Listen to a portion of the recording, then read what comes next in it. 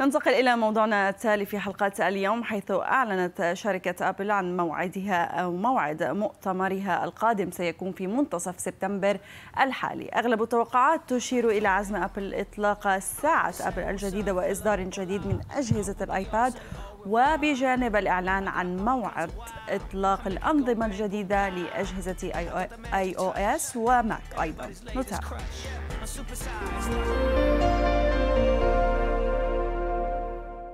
للمزيد ينضم إلينا من الرياض عبد الله السبع خبير التقنية. صباح الخير عبد الله.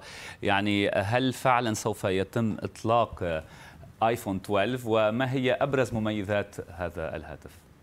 أول شيء السلام عليكم. صباح الخير. السلام. يسعد صباح. آه المؤتمر هو هذا دائما في شهر سبتمبر. ابل تعلن فيه عن آه، الجهاز الجديد من أجهزة الآيفون. لكن خلال اليومين الماضية آه، كانت في إشاعات كثيرة تتكلم إنه ابل احتمال كبير ما تطلق ال iPhone الجديد في آه، هذا المؤتمر. يعني من المتوقع إنه ابل تعلن عن الساعة الجديدة ممكن تتكلم عن ال iPad الجديد ممكن لماذا؟ تتكلم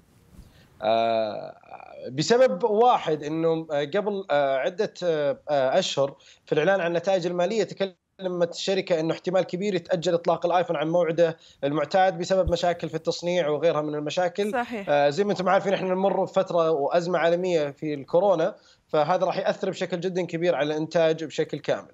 وهذا اللي متوقع بشكل كبير إنه احتمال إنه أبل ما تطلق الآيفون في هذا المؤتمر. لكن في نفس الوقت في بعض المصادر تتكلم إنه لا راح يكون في إطلاق للآيفون. آه السيناريو المتوقع إنه أبل ممكن تتكلم عن ثلاثة أجهزة أو أربعة أجهزة اللي هي الساعة وال iPad وأيضا آه ممكن تتكلم عن الأنظمة الجديدة بجانب الإعلان آه عن الإصدار الجديد من ال Apple TV. لكن أجهزة ال iPhone قد يكون لها مؤتمر خاص نهاية السنة ولكن ممكن ممكن الشركة أنها تعلن عن ال iPhone الجديد خلال هذا المؤتمر. آه، لكن ما في مصادر صراحة كثيرة تتكلم عن هذا الموضوع لكن آه، اذا إذا جينا نتكلم عن الساعة الجديدة من المتوقع إنه أبل آه، تعلن عن تصميم جديد للساعة خاصة إن التصميم الحالي للساعة صار له تقريبا خمس سنوات ما غيرت التصميم. بالنسبة لأجهزة الآيباد من المتوقع إنه الجديد أو الآيباد Air الجديد ممكن يكون داعم لل keyboard الخاص بأبل. زي ما أنتم عارفين قبل عدة أشهر أبل أعلنت عن ال Magic Keyboard الخاص بأجهزة الأيباد Pro اللي لو استخدمته مع الأيباد راح يعطيك آه، فعالية أكبر وراح يعطيك إمكانية استخدام الأيباد آه، بأماكن أكثر في العمل وأيضا راح يفيدك في التعليم وغيرها. فمتوقع إن الأيباد هذا راح يكون متوافق بشكل كبير مع ال keyboard الخاص بأبل.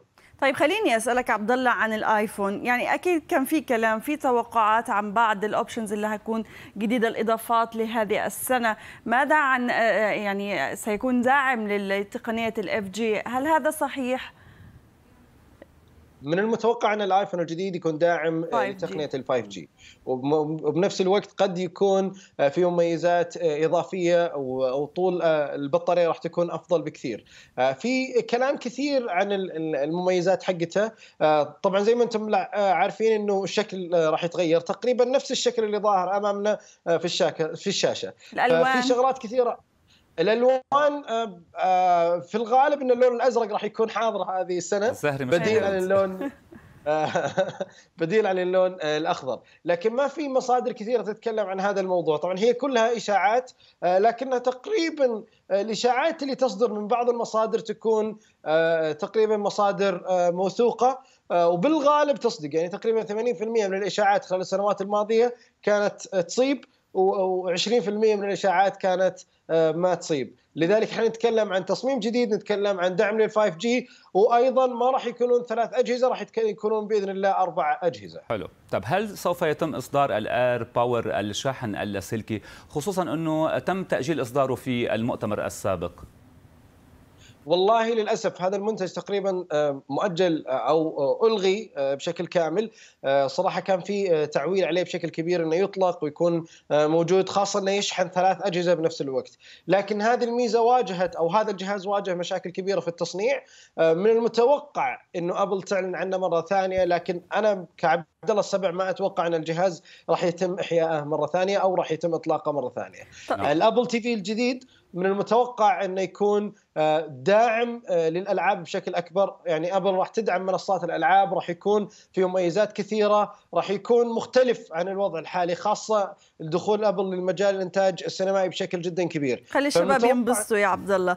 بخصوص أنظمة ال iOS ونظام ماك الجديد هل من المتوقع أن يكون لها نصيب في هذا المؤتمر أيضا؟ هو المؤتمر الماضي كان خاص للأنظمة وأعلنوا فيه عن جميع التفاصيل لكن من المتوقع انه يكون آه، في آه، إعلان عن مواعيد إطلاق الأنظمة وأيضا الإعلان عن بعض المميزات اللي ما ركزوا عليها في المؤتمر الماضي. فمتوقع بشكل كبير يكون آه، في حضور للأنظمة والإعلان عن إطلاق هذه الأنظمة في المؤتمر خاصة نظام الماك آه، الجديد اللي راح يحمل واجهة كاملة آه، جديدة وراح يعمل مميزات جديدة. نظام ال iOS 14 أيضا من المتوقع إنه يكون له حضور في المؤتمر خاصة إنه راح يتكلمون عن متى موعد إطلاق هذا النظام. طب هل هل الآيباد الجديد سوف يدعم keyboard أبل وأبرز مميزاته؟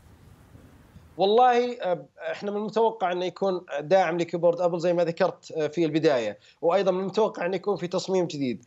آه، لكن المعروف ان الايباد اللي تعلن عنه ابل في نهاية السنة يكون ارخص بكثير سعره من الايباد اللي تعلن عنه ابل في بداية السنة اللي هو الايباد Pro. لذلك في كلام انه إنه يكون الأيباد آه، اللي راح يعلن عنه خلال هذا المؤتمر راح يكون آه، رخيص الثمن تقريبا. وأيضا داعم لكيبورد آه، أبل بجانب مميزات إضافية للمستخدمين وتعديلات بسيطة وتحسينات كبيرة في الإصدار الجديد من الأيباد.